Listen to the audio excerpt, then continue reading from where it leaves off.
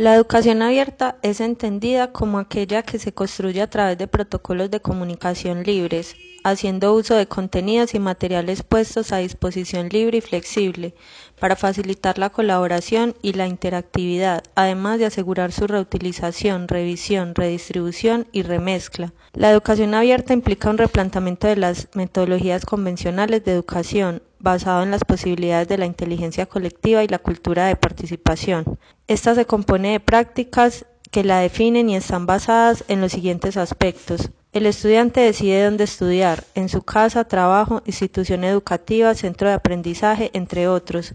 Existe la posibilidad de estudiar por módulos y que el estudiante aprenda de forma compatible con su estilo y ritmo de vida.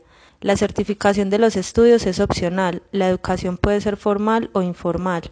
Hay una exención de tasas académicas, derechos de matrícula y otros costos asociados, eliminando este obstáculo para el acceso a la educación. No hay obstáculos de acceso para estudiantes con discapacidades físicas o desventajas sociales. Se proveen y aprovechan recursos educativos de naturaleza abierta.